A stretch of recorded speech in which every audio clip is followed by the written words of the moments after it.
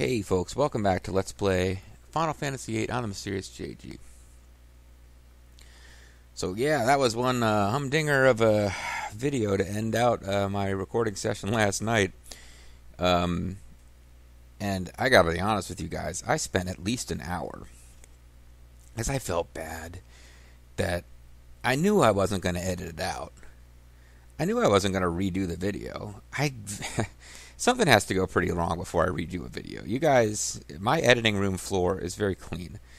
I've, i remember I won't name the name of the uh, LPer, but there was another LPer who's kind of a friend of mine who was making fun of me for it, and I kind of got a little defensive back and forth with him in the comments because. Um, you know, I, I, they they were somebody who does like big long streams, uh, you know, multiple hours, and then cuts them into videos, and doesn't doesn't really put any kind of name. Like the name will just be such and such game, part one, such and such game, part two. There's never any kind of individual description. So I was I was like firing back, angry about that, um, because they were teasing me for not editing out a bunch of stuff which you know, come to think of it, they do streams. They're not editing out anything either. But what am I getting at? The point is, I, I don't edit that much stuff out, but I do a ton of off screening, particularly in games like this, where I'm just grinding for levels. This game has not reached Final Fantasy 12 levels for me. Final Fantasy 12, the Zodiac Age remake, just crazy amounts of off screen stuff to try to showcase all the content. And that's a game where I very much hit a point where I'm like, you know, I'm not doing 10 hours of this fucking fishing mini game so we can have a, you know, 30 second non voice acted conversation with Gilgamesh. I'm not doing it, you know. But anyway, yeah, but I do feel bad. Like when I have a video, I'm like, yeah, you know, um, let's just say an early professional uh, YouTube here, because the current thing is just crank out as much content as you can and don't edit shit. That's kind of how professional LPing seems to work these days.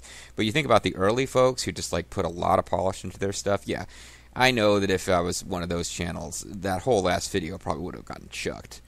But I need you guys to know I spent like an hour plus last night on triple speed, running in and out of all the rooms in Balamb, leaving and re-entering Balamb to try to reset where uh, that little kid was going to spawn and talking to him. I went back and watched, and I was kind of jumping ahead, you know, five ten seconds at a at a batch to find any scene in my previously recorded footage where I was actually in Zell's room and may have picked up that. Uh, it's a speed up item. I may have picked it up. I may have actually given it to somebody immediately and forgotten about it. Uh, and it's not impossible that then not only did I forget about it, but while researching through the old old footage, I just missed it. But I don't think so, because I could have done all the prerequisites to get that item to be available for pickup in Zell's bedroom before we did the actual plot line where we go to Balamb and it's occupied by Galbadia. But I've only got about two or three videos worth of that once Balamb is occupied by Galbadia, and you have actually because you can't access Zell's bedroom before that sequence. So it's entirely possible that I did the prerequisite steps and it was there. But from my review of the footage, I never picked it up. Uh, so I either picked it up and just in reviewing the footage, just skipped around at exactly the wrong time and missed it, or maybe it was really early in the lengthy marathon recording session I did yesterday, and I got it on a return trip to Balamb. But even that stuff, I was kind of like, no, I never really went back to Balamb that I can remember after I started doing the um, you know, whatever the heck the the Shumi tribe stuff. I don't think I ever went back to Balamb after that. Blah blah blah. And if I did, it would have been like an hour or two before earlier in the session, not like five hours. Like I think I would have remembered. Blah blah blah. The point I'm getting is I spent a lot of time trying to figure this thing out, and I just can't freaking do it. I did eventually get the kid, and this is this was like 45 minutes plus into running in and out of Balamb and going to all the different places and finding him and repeating the same sequences over and over. His mom chases him out of a building, and you talk to his mom and a person sitting on the park bench outside of the Wappet Shoppet, and they talk about how he takes after Zell, and Zell's a real handful. The scene where he pushes down the mayor's daughter. Uh, I kept finding him lying on the floor face down in Zell's house's family room, saying he hates naps. Eventually, I got the scene where you find him hiding behind some boxes, but nothing ever actually unlocked. And a, I looked at multiple websites. Nobody actually shows a picture of it, so it's possible I just was angled the wrong way in the bedroom when I was looking for it. But I've been in there repeatedly. Okay, Squall, now turn like 10 degrees to your left and now search where this thing is supposed to be. Can't find it. Different websites had slightly different versions of what all the prerequisites were because nobody really seems to understand it. Um, blah, blah, blah, blah, blah. Um, yeah, so I'm just like, fuck it, I don't care anymore. Um, there is a way to get the speed up items. Uh, come disc 3, behemoths will be a thing we can encounter in the world map. They drop an it'll be a farming thing. They drop an item and you you need quite a few of those and you can refine them and uh, blah blah blah. So if I decide if I decide I really want to pump up people's base speed stats, there are other ways to do it. This is a single speed up item that I'm just like at this point I'm I'm way ahead of you guys in what's published, but if you guys are commenting in the prior video, like, oh yeah, dummy, you got it back in video 45, um, I'll be like, oh, cool. And if you're like, no, you didn't get it, but actually, here's the thing that I know that you happen to have missed that you need to do, that'll be fine too. But we do have to move on at some point. So sorry about the last video. Now I'm going to come back. We're going to go to Winhill. We're going to do some stuff in Winhill. I've already spent seven minutes griping wasting more of your time. We're moving on. Uh, Winhill should be pretty short and simple. Oh, didn't I just? This is. Oh no. Yeah, that's no encounters. Why am I encounter? Oh, I know what this might be.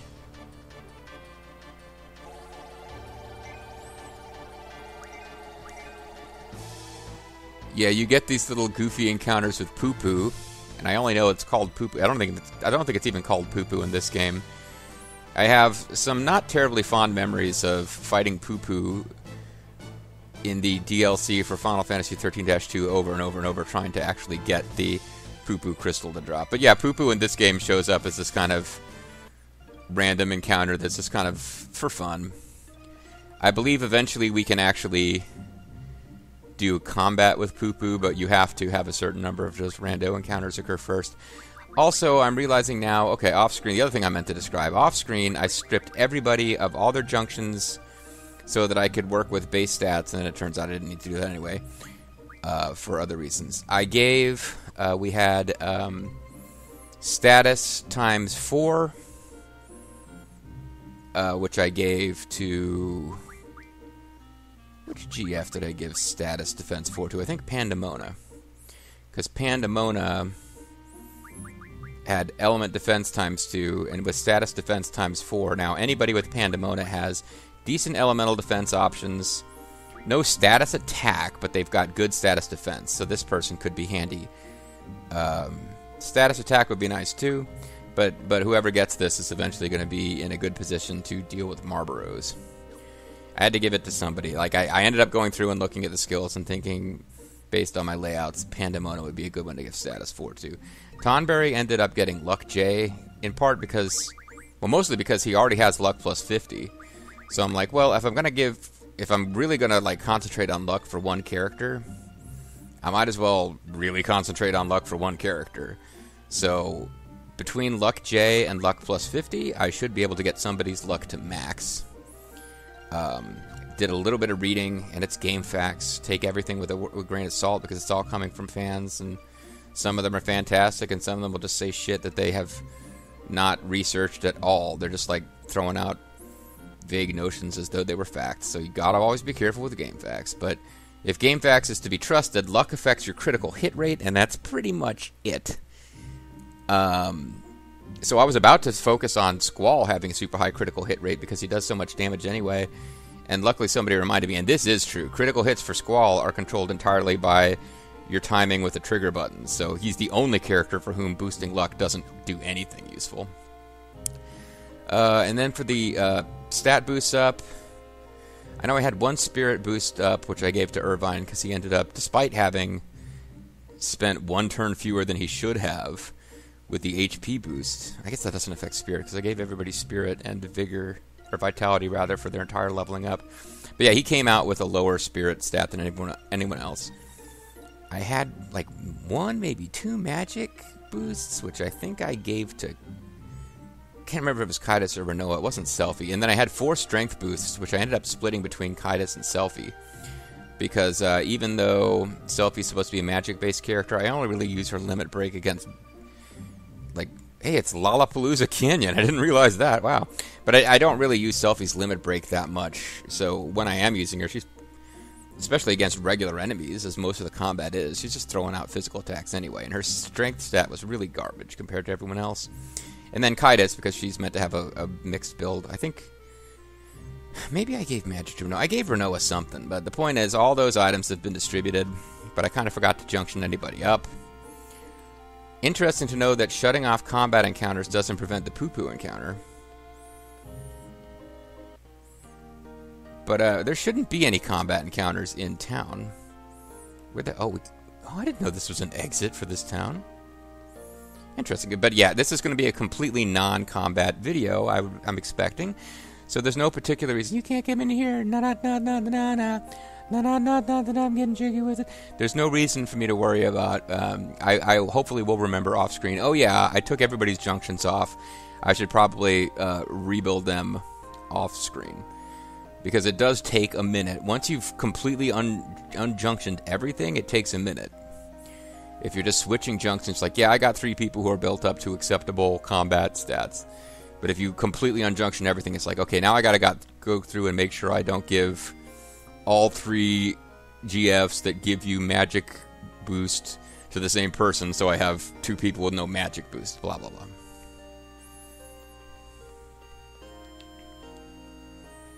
No, you cheated. Stop it. What does that even mean?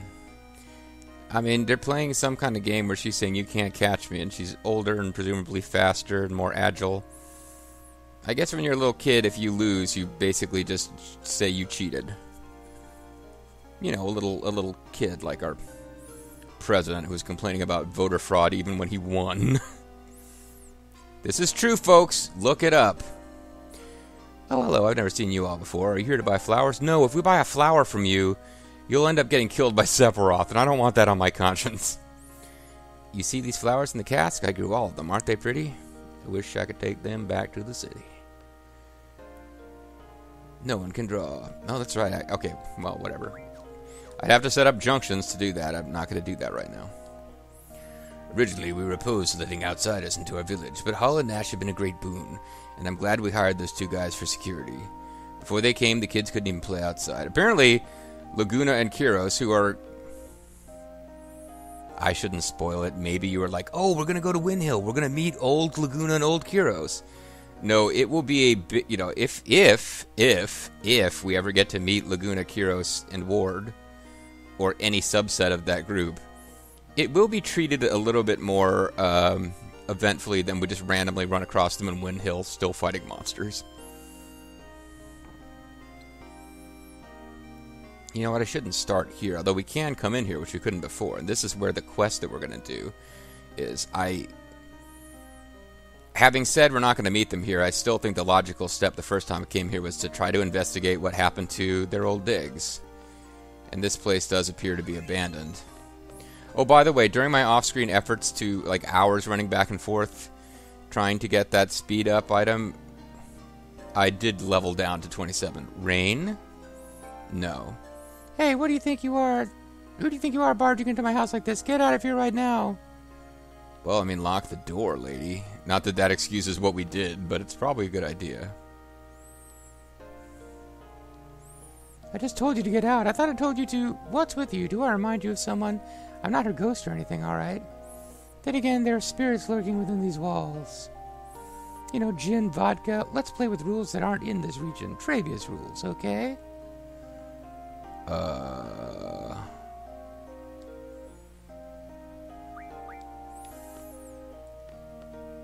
I think Trabia has quite favorable rules, actually. But I also, if I understand the way the rules are set up in Galbadia right now, there's nothing. Uh, The Galbadian rules, we won't be able to lose like same wall or whatever the fuck rule Galbadia has that I don't like but isn't that bad. Because there's nothing in Trabia that can spread to here at the moment. Well, hold on, let's see.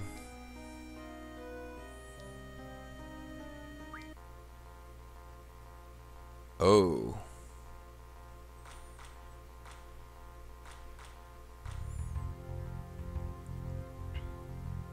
Hell no. Hell no.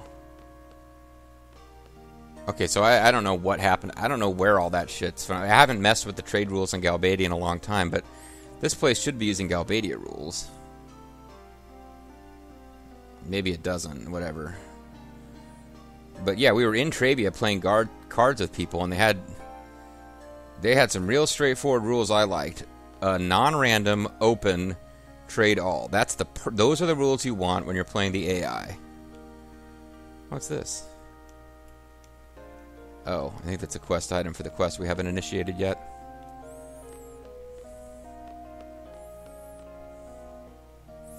Alright, well, I wanted to start off by checking the places that we might have expected to run into Raine, Laguna, or any of the other people from that flashback. I mean, we know Ellone's not still here. But we don't at this point know what has happened in the interim. Alone is a few years older than Squall, so she's in her late teens, maybe her, maybe her early 20s. Uh, and she was just a little kid there. So let's say. Let's say ballpark 15 years have passed between that Laguna flashback, and the Laguna flashbacks are spread across time, right? But uh, that Laguna flashback was probably about 15 years in the past, so just for purposes of like what's changed here, that's that's what makes sense. You do not appear to be a person we can interact with. My husband is very upset by the fact that the vase is missing. A ghost? Oh, please, there's no such thing. Is there? Well, if there is, it's Final Fantasy, so you'd either use curative magic or fire, and you'll be alright. Are you gonna have weird ass rules? No, you just don't play cards. Come to think of it, I've noticed some strange things lately, like stuff in the house being rearranged by itself. Perhaps it was because of an earthquake when we were still asleep. Sure. I mean, depending on how they were rearranged, if they all fell over and broke, yes. If they moved from one shelf to another intact, probably not earthquake. You seem to know rule unfamiliar to this region. Let's play a game mixing Trabia's rules and our rules. I'm just curious what they're going to throw at us. The same weird shit. Okay. The open rule has spread throughout this region.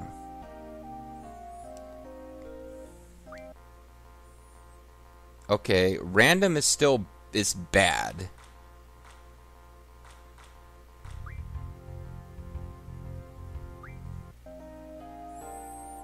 Spreading open is good. Abolishing random is probably better. And I think we can't abolish random now that I've done that. So, crap. I probably shouldn't have done anything with cards without saving first. Oh, for crying out loud.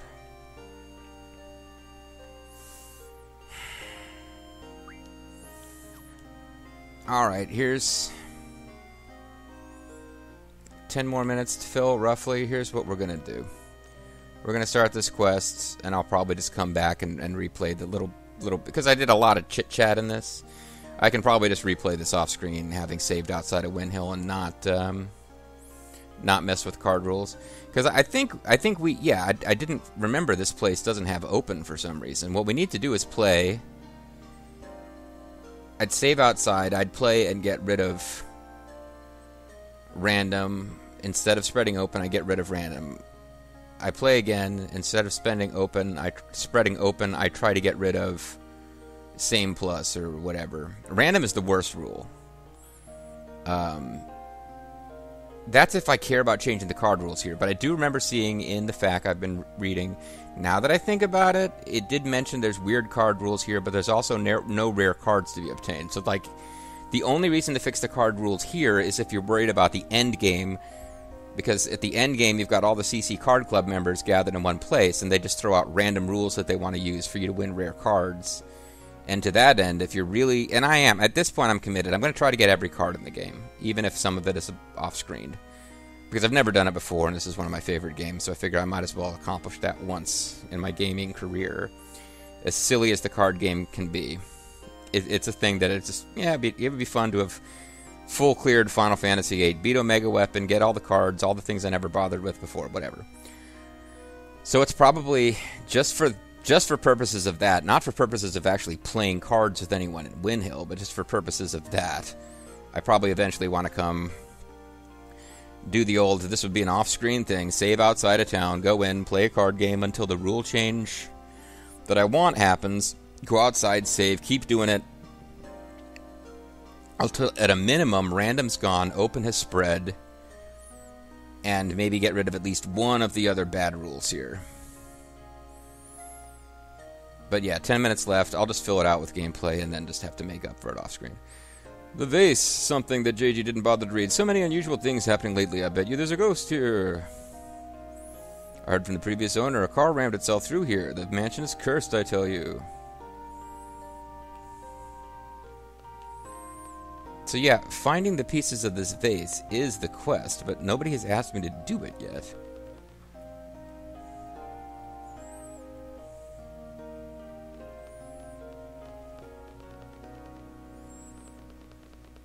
I definitely remember having uncovered this quest in my PS1 playthrough. I'm look I I'm looking for my feet. Have you seen my feet? Quit joking around, Irvine. Yeah, yeah, yeah. I didn't say anything. Did you hear Southern twang from that armor? Oh, that reminds me. Um, well, let's finish this first. Yo, man, quit joking around. It ain't funny.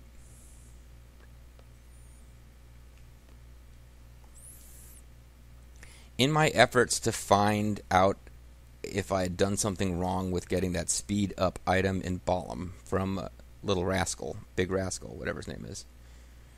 Uh,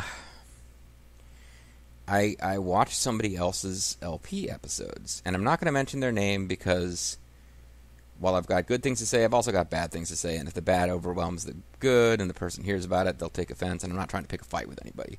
But no, this LP, I, I want to I have to say, this LP had a, had kind of a flat delivery. It was a little, it seemed a little lifeless to me. I probably, whatever, I go off on all these crazy asides. You either love me or hate me. I think at this point.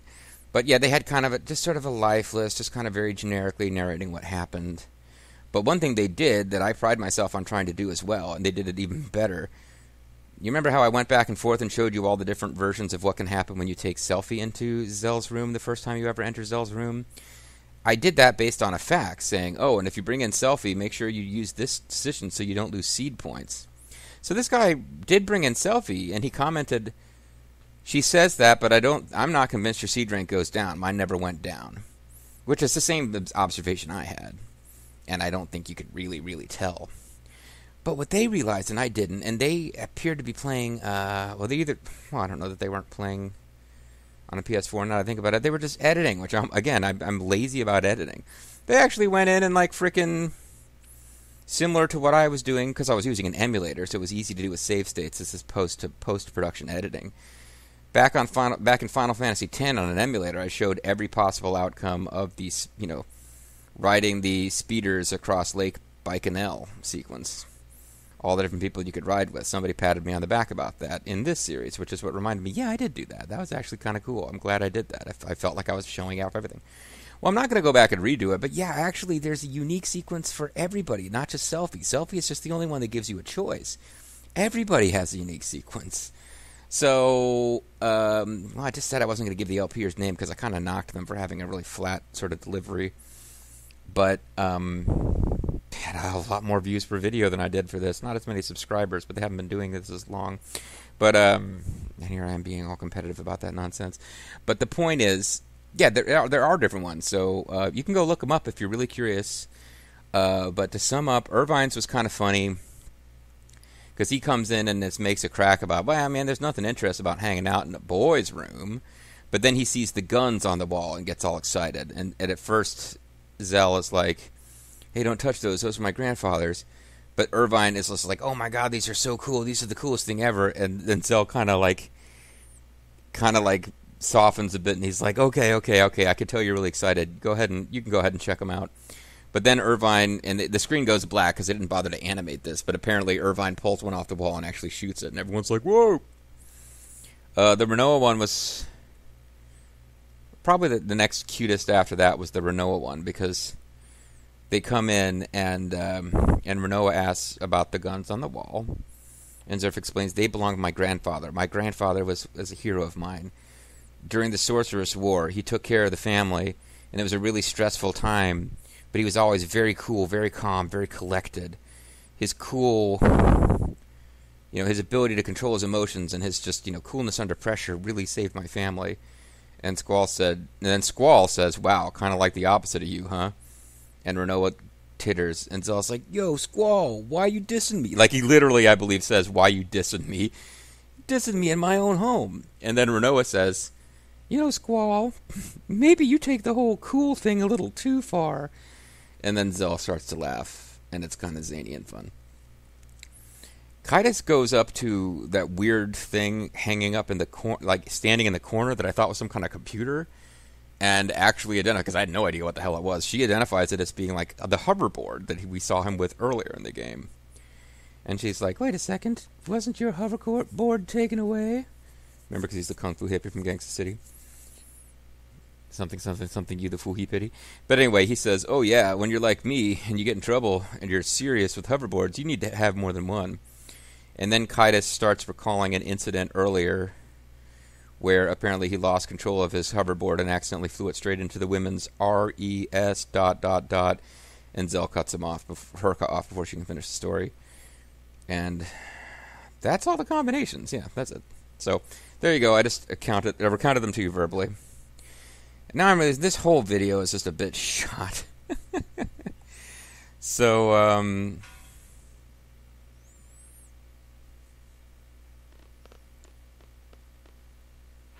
I like that Zell runs extra far away because he's a chicken wuss. It's gonna turn out there's some kind of like robot in there. Oh, it's a a baby chocobo, a chickabo, real cool chickabo. But there you go. Not a completely worthless video. I caught you up on a little bit of off screening. Basically, purely because we encountered Poo Poo for the first time. I I probably should scrap this. I'm not going to scrap it. But when we come back next time, I'm going to. We'll do the quest that I came here to do in the first place. Sorry, guys. not my best. Um, but yeah, that whole thing where I think I. Spreading the open rule is a good thing, but it's. I need to avoid having that happen because once that's happened, I have no ability to change any other rules because there's nothing else that can spread here that is desirable. So if I'm serious about manipulating card rules here, I have to um, I have to make sure that I don't spread open to the region until I've abolished some of the. Uh, I've explained it before. There have to be at least two possible rule changes before the game will make a rule change. Uh, that's not exactly right. There has to be a rule that can spread to the region, and a rule that can be abolished. If you have three different rules you want to abolish, but you don't have anything that you can spread, I'm pretty sure the game isn't going to isn't going to do it for you. Not 100% sure, but I'm pretty sure. And this would be a real like if I, I I'm gonna put I think I'll put this off because doing this right would be a pain. I would need to play a game here, change one rule. This would be much easier to do when I have the, the last airship. So I think all I'm going to do is come back and just not play cards with anyone. And sometime before we end Act 3 and go to Act 4, Disc 3 and Disc 4, when it's more convenient to manipulate rules because you have a ship that can fly you back and forth from region to region far more quickly than Balamb Garden, we will deal with all that stuff then. And I'll probably do most of that off screen.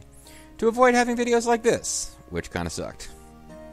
Next video won't suck as much. See you then.